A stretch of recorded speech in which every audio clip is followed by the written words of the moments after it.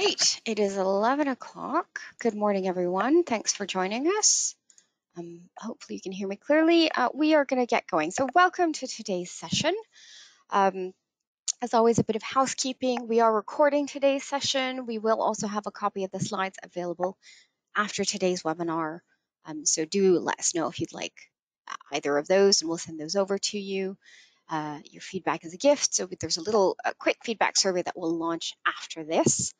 Um, and please don't forget to join us. There is a final webinar uh, next week in the November series covering the London Underground and London-based rail infrastructure, Crossrail, Cross, Crossrail 1 and 2. So for those who uh, do any work in and around London and it, the rail infrastructure there is a concern, that is our last one uh, next week.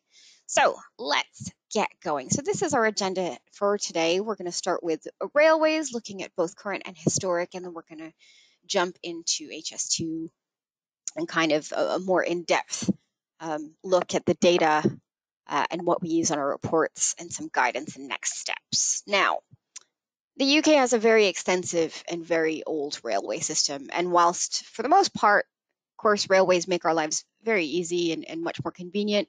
It is really good to be aware of where they are as they can potentially impact property value and even property enjoyment, both positively and negatively. Um, personally, myself, I live very close to a busy and active railway station and railway line. Some days I don't hear it. Other days it feels incredibly loud, depending on which way the wind blows. And you know, other times it's a real pain because I, I, I live actually very close to a railway crossing uh, next to a mainline artery road in my town. So sometimes you get stuck 15, 20 minutes just trying to get out of my street um, because it can be that bad in terms of, of tailbacks uh, when the railway crossing is and the barriers are down. So just, you know, there's it can impact everybody in, in various ways. Now, Groundsure includes data on all current working railways, and some of it you can see here uh, denoted in blue. And depending on what report you get, it may or may not already be included. Uh, something like a home buyers or an Avista report would identify any um, railway if it is within close proximity to the property. But we also include um, data on underground networks, let's say outside of London. So here in red, you can see in the map, you've got the Tyne and Wear Metro, you've got the Glasgow, uh, Glasgow Subway, and you've got the Man uh, Manchester uh, Metrolink. Um, we also include data on all abandoned railways, which is what you see in purple. And as you can see on this map, there's probably a lot more than most people would think or even realize. Now, when purchasing a property, depending on your proximity to either an active railway or historic historic railway line or stations, it can have a potential impact uh, on whether or not the client may want to purchase a property, particularly um, it's good for people to be aware, particularly if a client's unfamiliar with a local area. Um, the effects of active railways are, of course, very obvious, I would say, to most people. But when we start delving into sort of the more historic side of things, historic railways and tunnels, the understanding of why it's good to know about these things is certainly more of a personal preference, but it can be quite practical. Now, starting with the historic stuff, there are historic or abandoned railways all across the country. Within the UK, a lot of railways closed as roads and motor vehicle uh, vehicles became the more common way of transporting goods and people. Now, some of the lines have reopened either in part or in full following a period of closure. Such reopenings have taken the form of independent preserved heritage railways and of expansion to state-backed national rail and local uh, rapid transit or light rail networks. Most of these lines have converted to cycleways, footpaths, or highways. Now, what you see on the screen is the Rothbury Railway. Now, the people of Rothbury saw the advantage of having a railway connection. The district had long been the center uh, for the production of lime, uh, important in improving acidic soil for agricultural purposes, and Morpeth was a center of demand for the, the, mineral. It was natural to consider making a railway branch line from the uh, from Rothbury to Morpeth, which was on the Newcastle and Berwick main line. Now, increasingly efficient road transport caused a collapse of the passenger and goods traffic, and closure was pretty much inevitable. The last passenger trains ran on the 13th of September in 1952. A basic weekly goods service continued, Uh, but on the 9th of November 1963, the Rothbury line was closed completely. Um, so again, this is just an example of some of the historic, these sort of smaller historical railways that people may or may not know about.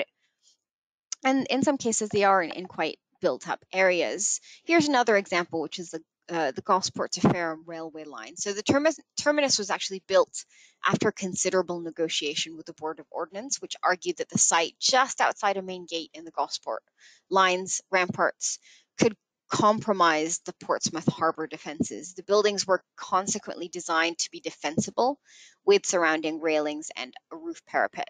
Now, Queen Victoria requested that a 600 yard extension was, was created into uh, Royal Clarence Yard so that she and her guests could make use of the new station before heading across to the Solent. Uh, to the island estate. And after Queen Victoria died on the Isle of Wight in January of 1901, her body was actually transported from Osborne to the Royal Station before continuing on its last journey back uh, to London. It was actually this this railway was actually then opened to the public for over 50 years. Uh, in 1953, passenger services from Gosport stopped, but freight traffic remained until 1969 when the station was actually uh, closed for good. And after being closed, the station building lay derelict for actually a number of decades, falling into disrepair in the process. Now, the train shed of Gosport Station, the platforms and the buildings have now been converted into a small number of residential properties and offices with the main gate in Spring Garden Lane opened up for vehicle access. Now, why is this important? I mean, is it uh, when you get a lot of developments like this on old railway lines, there are contamination concerns uh, depending on the type of um, you know how old that railway line is, what the cuttings were filled with, et cetera, et cetera. So again, those are things to take into consideration if you are in and around old historic uh, infrastructure like this. Um, you also have the concerns about old tunnels. So we actually include data on on tunnels, which some of you may or may not have seen or heard of. Now, why would anyone want to know about historic railway tunnels and how is actually this going to affect properties potentially? Now, these on the screen that you see are the Williamson tunnels, and they're kind of a bit of a mystery. They're a series of extensive subterranean excavations of unknown purpose in the Edge Hill area of Liverpool, and they are thought to have been created under the direction of a tobacco merchant, uh, landowner, and philanthropist Joseph Williamson between 1810 and 1840. And these tunnels predate historic mapping and therefore once Groundsure were made aware of them by a client we researched their locations and they were added to our historical tunnels data set. Now the purpose of the excavation has been subject to widespread speculation. People were wondering why he did this. I mean the folklore basically said that he, he did this as a philanthropic philanthropic exercise and really it was just to give people uh, jobs um, a more recent research done by academics at Edgehill University had concluded that the tunnels were in fact the result of work by Williamson to restore ground levels after quarrying. Now, most of the excavations are directly within a band of high quality sandstone and show clear signs of having been carried out using established quarrying techniques, and they're designed to produce single large pieces of stone suitable for building use. So, again, historic railways and tunnels kind of to a degree go hand in hand, and it's actually quite important for us to know where these are and why they're there. The more kind of interesting things about old disused railway lines and railway tunnels and the more extreme versions are things like collapses. Now, I mentioned earlier that we have a lot of historic data. Now, this also includes other light railways, trams, uh, old tunnels, things like funiculars, etc., etc but also the abandoned railways and tunnels. So this example that you see on the screen shows a section of tunnels, um, which is actually part of the Liverpool overhead railway that collapsed. 11 houses in this instance were declared unsafe after the disused railway tunnel in Dingle collapsed, and this was back in July of 2012. A survey undertaken by Liverpool City Council could not confirm the cause of the collapse in the tunnel, which runs for about three quarters of a mile un- under Dingle. And there are other stories of construction work accidentally drilling into railway tunnels, both active and old ones, which never really bodes well for anyone on on or near super near train lines uh, or the construction above it. So that's kind of why people tend to want to know, and it's good for people to be aware of these old tunnels, particularly when you're looking at property in areas where there's a lot of historical railway. Um, moving on to kind of more modern uh, times, uh, we're looking at HS2. So once operational, HS2 will serve over 25 stations connecting around 30 million people. And HS2 will significantly or want to significantly improve connectivity in the North and the Midlands and will also integrate into the existing networks serving stations uh, into Scotland. Um, you know, they talk about huge amount of job creation and also homes being built in and around the lines and the stations themselves. Now, most of the British rail network was built in the Victorian era, and the fastest trains can only go up to about 200 kilometers an hour, so it's quite updated. However, um, high speed rail has arrived finally in the country with the first bit of it opening, which is High Speed 1, which is the Channel Tunnel. Um, and the trains run up to speeds of about 320 kilometers an hour. Uh, and this is basically what HS2 is going to hopefully achieve. Now, our train networks have been running pretty much close to capacity before the pandemic, uh, unless the UK invests on really long trains. The UK really can't move as many people as efficiently as they can in other part as you can do in other parts of the world. Um, as our trains are narrower and they can't be a particular size. So, you know, this is a huge updating um, and modernization exercise of our railway, railway infrastructure. Um, we've put the objectives of what the project entails on the screen. I'm not going to lie, there's a lot of controversy. It's been in the news. We will talk about that um, later. There's talk about making things more efficient. There's talking about increase, increasing capacity. There are questions around who this project is actually going to benefit, and that's some of the controversy.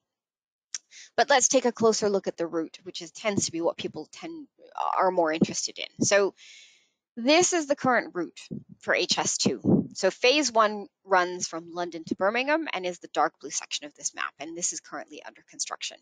Then you've got phase 2A, which is the light blue area, which runs from the West Midlands to Crewe, uh, this was given the green light already. And then 2B, which runs from Crewe to Manchester and the West Midlands to Leeds. I will talk about what's been in the news recently about the Leeds part of HS2 in a bit. Uh, and then what's appeared now on the screen is the wider blue network would further connect Leeds to Newcastle and Crewe to Edinburgh. And then when you look at the stations, that is where the stations are. So you're talking about 25 stations, as I mentioned earlier, connecting around 30 million people, so that's almost half the population. So a significant piece of, of work. Now the HS2 phase one will, or quote unquote, is hoping to be open between 2029 and 2033 and run from London to Birmingham over 134 miles through 31 miles of tunnels and over 10 miles of viaducts, delivering quicker journeys on more trains with more seats from London to Birmingham. At least that is the dream. Um, then you've got phase 2A, uh, which is 58 kilometers or 36 miles, which will enable towns and cities across the northwest of England, North Wales, and Scotland to benefit. Um, phase 2A is going to run from the northern end of phase 1A, or sorry, phase 1 at Fradley in the West Midlands to Crewe in Cheshire. And the services will then join existing rail network to, to create direct services to places including Liverpool, Manchester, Preston, Carlisle, and Glasgow. And Crewe is also the station for connections to North Wales and Shrewsbury. Um, so this has gotten the green light. So work is going to start to go ahead for this part of it. What is kind of a little bit more uncertain is this part of the route, which is phase 2B, um, because the eastern leg was not included in the Chancellor's budget last month. Now, the government has accepted that plans for HS2 and other major schemes need to be brought together in an integrated rail plan for the North and the Midlands, and has said that it will set out the form, scope, and phasing of the Phase 2B route across the western and eastern legs. Now, again, there's a huge amount of uncertainty. Uh, earlier this year, Boris Johnson mentioned something called the Northern Powerhouse Rail, which again I will cover in the next couple of slides. Um, which is going to hopefully provide a high speed train service for Liverpool and will connect two branches of HS2. But again, this is all up in the air, and I'm sorry I can't. I don't really want to speak in certainty or, or because at this point nothing is actually quite certain for this section of HS2. Um, it's certainly been controversial, uh, and like I said earlier, you know this wasn't discussed in the budget. Um, so whether or not it's going to happen, I don't know. Now, the government refused. So as of yesterday, when I was having a look around, the government had refused to confirm or deny reports that it was going to cancel plans for the HS2 link to Leeds. There was a leak in the paper apparently, and so it looks like they're going to cancel it and instead fund a sort of mishmash of disparate projects, uh, which favor conservative constituencies. Again, this is all opinion, and it kind of leaves mysterious gaps in the railway network. Grant Shapps is actually supposed to make an announcement tomorrow, mm, tomorrow Thursday, regarding this. Um, the media suggested that they were going to commit building HS2 from Birmingham to Manchester, but not necessarily Leeds. Um, so this is not great. Uh, this is throwing all sorts of people into a kerfuffle because there's been so much talk in the last year of this northern powerhouse rail and the connecting the two bits. So I would say keep your eye out in the news because this could throw these route changes and cancellations could be good news for some and bad news for others. It really depends. Um, you know, if it's anything like Crossrail, you know, developers were already buying big tracts of land along the proposed routes to develop um, as you can imagine, that is a huge excitement for developers, you know, because you can build and sell more houses along these railway networks. Um, it's certainly something to keep uh, an eye out on.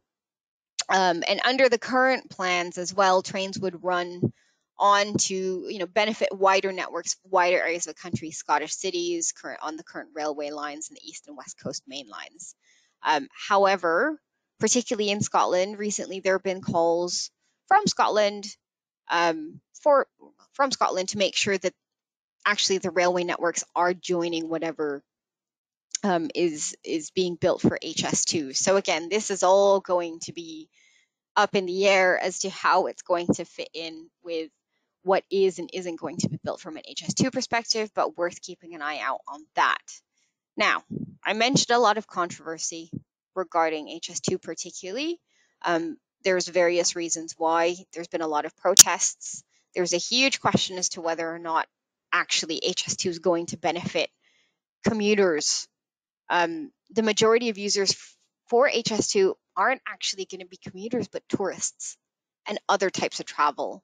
HS2's own research indicates that they expect 70% of their passengers to be leisure passengers as opposed to using it for business and travel and commuting um, in the grand scheme of things, if you're talking about efficiency and time, is it actually going to save a huge amount of time? It's actually going to save 36 minutes from Birmingham to London um, because people can already commute from London to Birmingham in less than an hour and a quarter. Although it does mean that the commute from to and from Birmingham from London becomes less than an hour each way. Is it a huge, you know, is it is it huge enough amount of savings for that amount of money it's cost? That is the question. There's also people who have lost homes um, along the railway line. Almost 600 million pounds has been spent buying up property to make way for HS2, amidst, of course, the increasing costs that people have seen in the media. Um, the probably the most controversial is of Shimmer Estate. So the Shimmer Estate was uh, housing development with 212 family homes in Mexborough in South Yorkshire. It was completed back in 2017 residents uh, received news back in 2018 that 52 homes on that estate were set to be bulldozed, uh, along with eight on the nearby Doncaster Road, only after a few years of the development being completed to make way for HS2. Um, there's also questions about the loss of environment, uh, the you know environmental impacts, uh, loss of ancient woodland in areas that are being protected, and really there is a question about who this is actually benefiting because is, is it actually going to benefit the whole country or only certain parts of the country? Um, not to mention, it was it's extortionately expensive the price for building HS2 has increased uh, exponentially. Um, 106 billion, more than three times what the original budget was. Um, so, you know, people aren't very happy, and there are there's a lot of justification, and people talk about why it's so difficult and why the budget's completely been blown out of proportion. Um, fast trains are expensive. We need more trains. We need a lot of them. Uh, there's a huge amount of risk and uncertainty when you're looking at these types of infrastructure, the property itself. Buying a property to build these t- this type of major railway is, is not cheap. Uh, you even have to do things like move rivers. Um, so, and, and, and again, move environmental, you know, protected areas. Um, that all costs a lot of money, but it's not all terrible in the news. I'm not going to lie. Um, there is some good news. A huge amount of it you know, good news and bad news from an environmental perspective.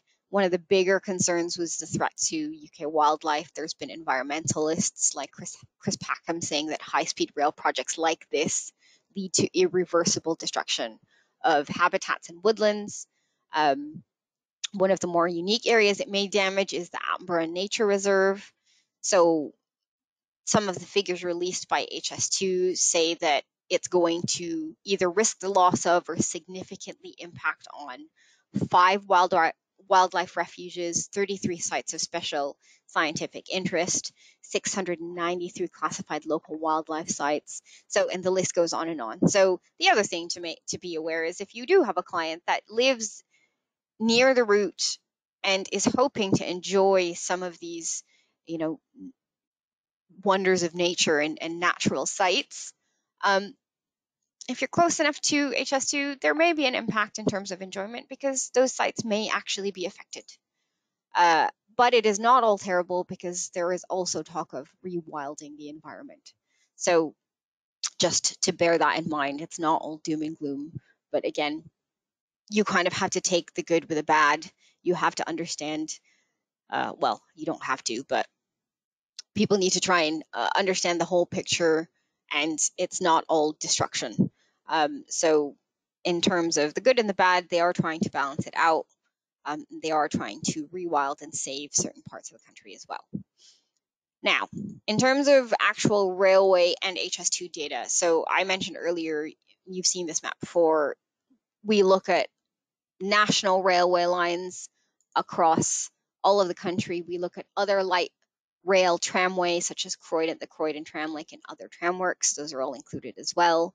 Uh, we've got funiculars. We've got, um, you know, even other more obscure pieces of data for rail. But in terms of probably what people are more interested in, things like visibility data. So there's always a question we get asked by prospective home buyers: Am I going to be able to see something like HS2? Um, this just allows people to gain a much better understanding on where HS2 and big infrastructure will be visible from so they can make a more informed decision. So this first image shows the area where you'll be able to see HS2 during construction, so a much bigger area. Um, and then as time goes by, it gets a bit smaller. So this shows where you'll be able to see HS2 after its first year of operation. And then the third image shows the area where you'll be able to see HS2 after its 15th year of operation once all the planning and the plants and, and growth and vegetation has been established. Um, we're the only provider currently to include this data within our searches. Now, this visibility data is only available for phase one and 2A of the scheme. Of course, phase 2B st still being consulted on, which is why we don't have that information. Um, what else do we look at? Well, in terms of HS2, but also other railway, we include maps of the nearest point of HS2 if it's been identified in a report and it gives you further information on the points that you see on the screen.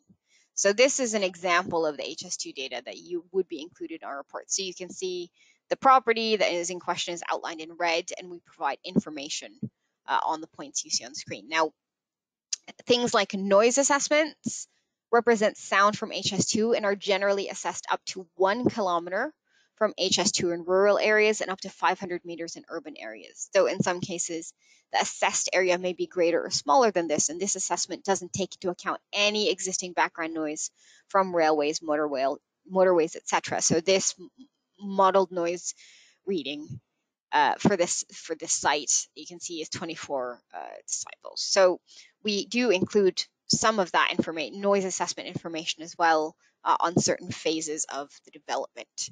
Um, so like you say, you can see there, you've got the property, you've got the different colored lines. You do get a key to explain what those colors mean. Um, it could be a safeguarding area. It could be the homeowner payment zones, one to three. It could be subsurface and surface safeguarding. Um, so you'll get all of that information as well. So probably a more specific example. So this second image is actually of a particular uh, brewery or brewing company, which is in one of the trading estates near an HS2 railway station. You can see it's surrounded by the purple marked area, which is the HS2 surface safeguarding. So the area around it has been earmarked for, H, for the HS2 project. Um, whereas anyone that falls into the area isn't in a great position. We'll talk about safeguarding in a bit. Um, but as you can imagine, if you are surrounded by that purple, there's going to be plenty of disruption and upheaval around around this area for year, years to come as the project progresses. Now, buying a property uh, near to a major railway project like this has its benefits. The obvious ones being it'll increase better transport links, potentially even increase property value. Um, but what should people be cautious of? So for all major projects like this, land is required for the scheme, not only for where the scheme will go, but also construction areas around the said scheme. So the government can also issue compulsory purchase orders for homes and businesses, business premises close to such schemes. So how does safeguarding actually work? Safeguarding requires local planning authorities to consult well, you know, with various organizations when they are considering planning applications within the area that, that has been safeguarded. So we would then advise the local planning authority how to respond to the application. So not we, but the organization like TFL and other local authority organizations. In most cases, um, or in some cases, they'll have to ask for approval uh, to see whether or not, you know, it's going to conflict with the project. Now, you can also have something called statutory blight, which can also be triggered. So this term is used to describe a situation where a property is blighted in a legal sense, such as where it is in a development plan or within land safeguarding for a specific purpose. For example, the railway or included within a compulsory, compulsory purchase order. Um, so one thing we will always notify you of in our reports and in the data is whether or not the property falls within or is close to a safeguarding area. And like I say, safeguarding sounds like a nice thing, but actually it's not necessarily a good thing. Don't be fooled because it means it's there to protect the infrastructure, not the proper, you know, not the residential property. Um, it's not going to protect your client's house from any future development. Uh, it's it's there to protect the actual railway infrastructure from future development. Which means if you happen to be in or near a safeguarding area, you probably do not want to be there. Um, if you fall outside of it, great, but if you're close enough to it, it still may cause some type of disruption to a property uh, over time. So it's not ideal um, to be within a safeguarding area. So just make sure that your clients are aware of that if they are. Um, what else do we show you, let's say, if it's not HS2? So here's an excerpt from our reports uh, for the other parts of railway infrastructure that we look at. So active railways, active tunnels, historic railways and tunnels, the abandoned railways, tube stations, uh, underground lines. So that's all included as well. Uh, you'll get told how close you are, what the, the closest point to track, and, and for HS2, the, the speeds that the track's going to run at. Um, if you're looking at, let's say, uh, not HS2 but other railways, you'll be told how close you are, uh, what the closest station are. If stations are, if you're in London, that would be hours of operation as well, um, because you have things like the night tube that go on.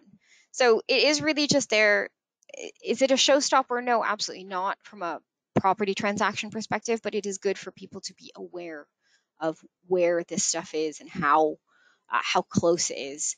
So all of the things I've just talked about, historic railways, tunnels, active railways, etc., etc., HS2, Crossrail 1 and 2, all of that is already included on in the home buyers report under transportation, like you see on the front page, um, or in the Avista report.